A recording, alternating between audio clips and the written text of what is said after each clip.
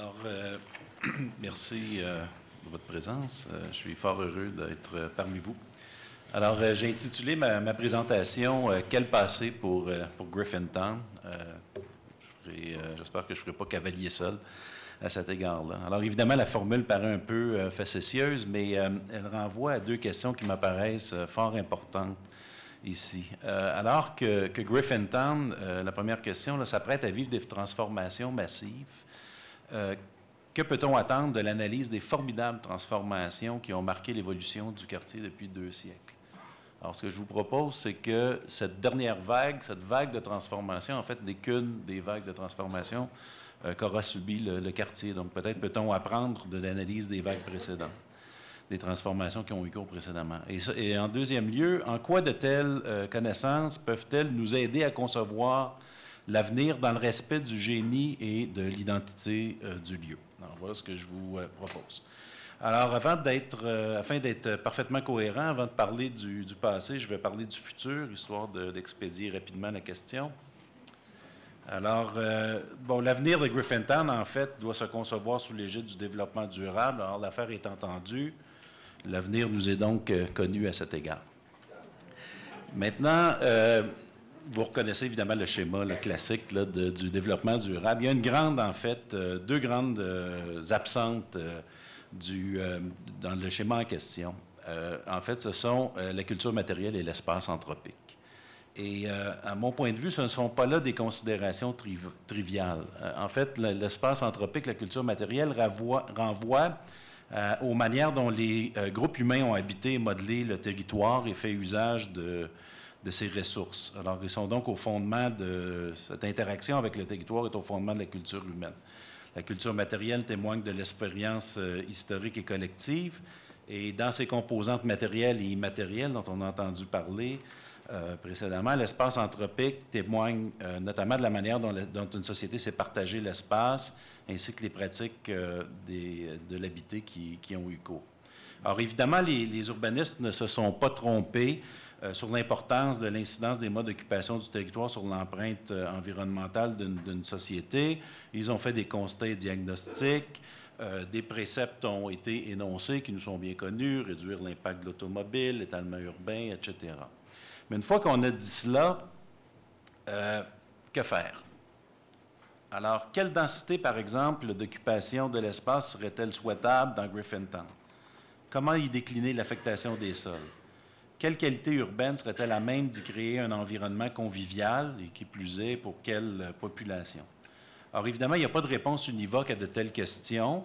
Tout dépend des objectifs poursuivis. L'exercice qui est mené par euh, l'Office de consultation euh, publique est certainement de nature à favoriser les arbitrages démocratiques nécessaires à cet égard pour l'élaboration d'objectifs et de critères de développement. Mais je vous soumets respectueusement que ça ne suffit pas.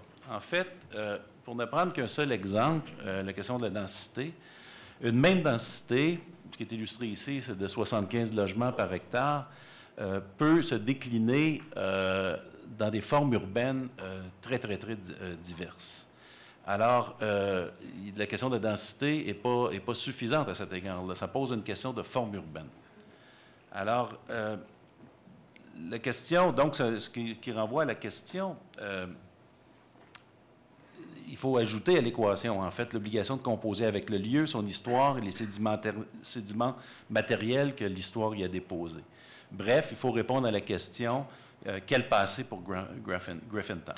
Alors, prendre la pleine mesure de la signification culturelle de Griffintown et de la façon dont le cadre bâti, les formes spatiales témoignent d'un pan important de l'histoire de Montréal appelle une compréhension en profondeur euh, de la structure morphologique héritée du lieu un travail de lecture et d'interprétation qui permettrait de caractériser les formes architecturales et urbaines en présence à Griffintown. On a eu déjà euh, des éléments de discussion là, portés, au dossier par euh, M. Anna, puis dans la présentation de ce matin. Mais euh, j'ajouterais aussi, il faut avoir une compréhension des processus de transformation dont ces formes architecturales et urbaines ont été le produit. Alors, un tel effort de, compréhension est un préalable obligé à la prise de décision sur la manière dont on désire inscrire nos actions dans l'histoire de Griffintown. Euh, pour paraphraser le rapport Brundtland, euh, nous avons hérité dans Griffintown d'un patrimoine matériel et immatériel important. Alors la question est comment entendons-nous faire bon usage de ce bien et le transmettre aux générations futures? En vertu de quels critères entend-on réinvestir euh, matériellement et symboliquement les lieux? Nous contenterons-nous d'un rapport superficiel à l'histoire des lieux et à la mise en valeur de ces caractéristiques pittoresques pour le bon plaisir des touristes et des habitants en mal d'authenticité mal comprise? Ou désire-t-on plutôt euh, inscrire nos actions présentes dans ce continuum historique et ainsi réinsuffler de la vie euh, dans ce lieu de mémoire tout en conservant leur cohérence aux structures spatiales qui témoignent des manières dont on a habité et vécu la ville dans son passage à l'ère industrielle? Alors, opter pour la seconde option implique que l'on se représente Griffintown comme un morceau de ville et comme un projet qui s'inscrive à la fois dans l'espace et dans la longue durée. Il faut apprendre euh, de la lecture des configurations spatiales existantes euh, et de la genèse du lieu afin de reconstruire la ville euh, dans la ville et la ville depuis la ville. Donc, j'ai... c'est sensible, voilà. Comment je peux... là, je... Je suis pas familier, voilà. Ça, c'est pour reculer.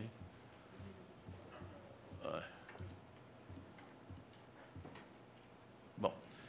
Alors, euh, le secteur dont, on- dont il est question ici, là, je n'ose plus euh, toucher à la souris, là, évidemment, c'est un secteur qui se déploie euh, à l'ouest du, du Vieux-Montréal, le long de chemins anciens. On trouve Wellington ici, puis on va retrouver ce qui va devenir la rue Notre-Dame, là, sous peu, dans une prochaine image. Alors, le tissu urbain, qu'est-ce que j'entends par le tissu urbain? Bien, j'entends euh, ces systèmes euh, cons- constitutifs, donc le système viaire, qui est le système, en fait, le plus pérenne, parce qu'il est rare qu'on ferme des rues. Euh, par contre, on peut en ajouter. Le système parcellaire, quant à lui, dont on a parlé euh, également, euh, qui est admirable, a été grandement transformé en cours d'histoire, je vais, y revenir. Et évidemment, les systèmes de l'architecture résidentielle et dans ce cas-ci, de l'architecture industrielle, de l'architecture spécialisée, donc, qui ont connu de, des- de- de grandes transformations, mais dont on peut apprendre de- des, des dites transformations.